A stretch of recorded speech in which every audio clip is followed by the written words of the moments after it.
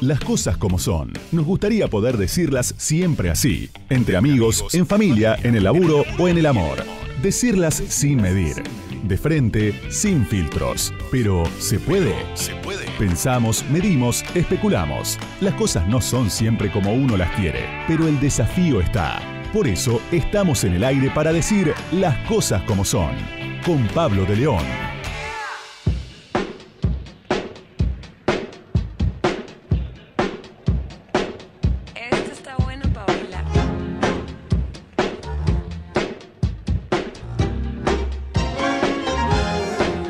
Muy buenas tardes, esto está bueno para bailar, esto está bueno para hacer radio, este es el programa número 66.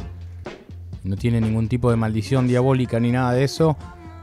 De las cosas como son en Radio con Vos. Último programa del 2019. Nos reencontraremos en el 2020 aquí, mismo horario, mismo dial, mismo radiodifusora, diría un antiguo. Un antiguo como nuestro operador Maxi Urquiza. Y tratando de analizar, diciendo cómo son las cosas, como nos parece que son las cosas, abriendo el juego a los distintos puntos de vista y esperando que sea un año bueno. Ahora, está claro que va a ser un año difícil. Y el otro día quedaba claro en, en el reportaje que le dio Alberto Fernández al programa de Rosca, eh, ante las preguntas de Eduardo Van der Koy y Daniel Fernández Canedo, Alberto Fernández dio una frase que dijo, por esta cuestión de si había o no un ajuste en este plan económico titula- titulado de solidaridad, pero tiene que ver con un ajuste en algunos sectores.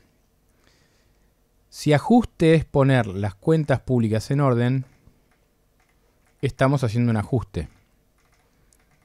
Es el título que quedó de esa nota, pero él hablaba de que había que analizar qué sectores estaban haciendo el ajuste.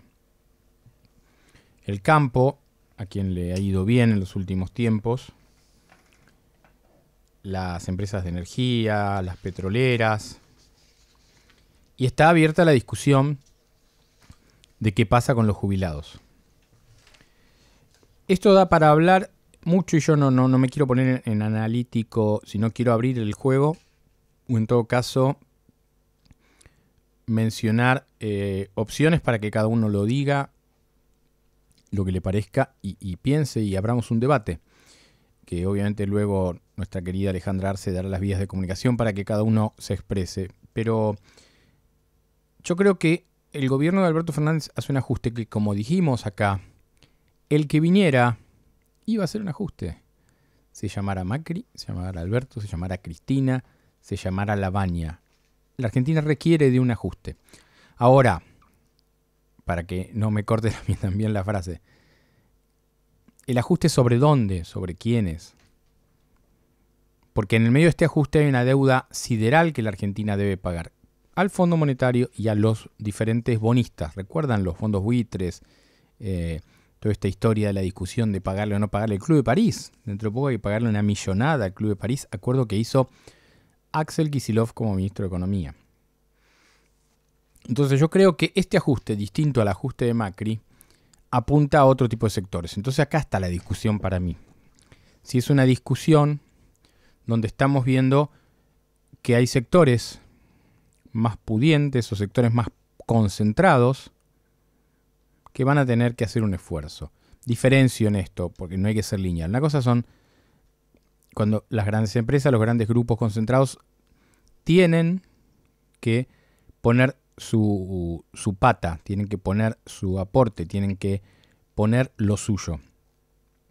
Por otro lado, aparece la gente común en la discusión, sectores medios que están enojados y, los más politizados dicen, Alberto está haciendo el ajuste sobre el 41% que votó Macri. ¿Mm? Aquel que, por ejemplo, ya había sacado un viaje afuera, o que estaba por sacar, o que quiere sacar un viaje afuera. Entonces, acá está esta discusión de, de dónde va el ajuste de Alberto. Yo creo que claramente hay un ajuste, creo que a nadie, no había opción de no hacer un ajuste. El que viniera iba a tener que dar malas noticias. Macri daba las buenas noticias en año electoral y las malas en año no electoral. Pero al último tiempo no le quedó otra. ¿Por qué? Porque tenía ya un desmanejo de lo económico, una incapacidad de poder tomar cualquier iniciativa sin que se le desarmara todo. El dólar se fue al diablo, la inflación nunca la controló, la pobreza quedó siendo mayor de la que era al inicio de su gestión, como la inflación. Entonces aquí está la discusión y en esto quiero dejarlo abierto, lo vamos a hablar con nuestro invitado que en un rato va a venir, alguien cercano Alberto Fernández, al pensamiento, a la discusión de ideas en el esquema Alberto Fernández, pero creo que hay que sincerarse y el otro día el presidente hizo bien en sincerar. Dijo, si poner las cuentas públicas en orden es hacer un ajuste, nosotros tenemos que hacer un ajuste hay que ver quién hace el ajuste y el ajuste este sirve y es necesario para que, por ejemplo, para pagar la deuda externa que la Argentina lo va a hacer. El principal riesgo que aparece para el afuera es si Argentina va a entrar en default o no y Alberto Fernández y su ministro Martín Guzmán se esmeran en decir que no es así. Precisamente Guzmán es un símbolo de que no va a haber ningún tipo de default. Ahora, este tipo de ajuste iba a tener espalda política para hacerlo Macri? Yo creo que no. Yo creo que Macri tuvo la chance de encarar un ajuste de fondo cuando comenzó su mandato y ni siquiera, en virtud de las indicaciones de Durán Barba, hizo un diagnóstico duro, profundo, de las bombas económicas que le había dejado Cristina y de la situación social. Creyó que la piloteaba. Creyó que la inflación era un asunto que se regulaba desde el Banco Central modificando las tasas y todo eso. Y después llegó la famosa frase que, que bien recuerda en esta radio Alejandro Berkovich, que, que Mauricio Macri tuvo que decir, y bueno, y después pasaron cosas. ¿eh? Como que en el mundo pasaron cosas y la capacidad del gobierno quedó absolutamente eh, pasada por arriba por la realidad internacional. Y un gobernante debe mirarlo de adentro y lo de afuera. La Argentina va a vivir un 2020 difícil.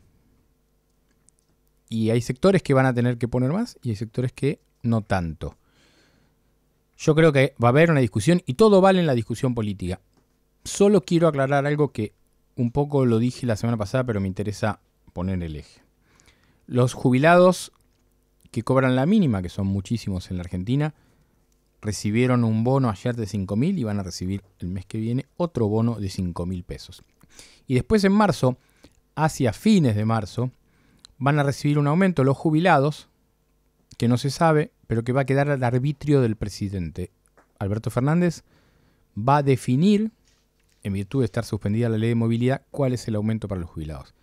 Y ahí veremos, ahí veremos si los jubilados van a recibir la ayuda que necesitan o si van a ser víctimas del ajuste. Recién ahí lo vamos a tener claro. ¿Por qué? Porque también la economía de ahora, de 29 de diciembre a, fin de marzo, va a atravesar, va a pasar de todo. Va a ser un mundo enorme. Y espero que la colega que se suma a este equipo, que es Natalia Donato, periodista de economía y que la leen en Infobae, nos ayude un poquito a entender todo este berenjenal. Por eso nosotros en 2020 seguiremos diciendo las cosas como son, como nos parece que son, abriremos las vías de comunicación a los diferentes puntos de vista y, e insisto, yo espero que los que menos tienen no la pasen tan mal como en los últimos tiempos.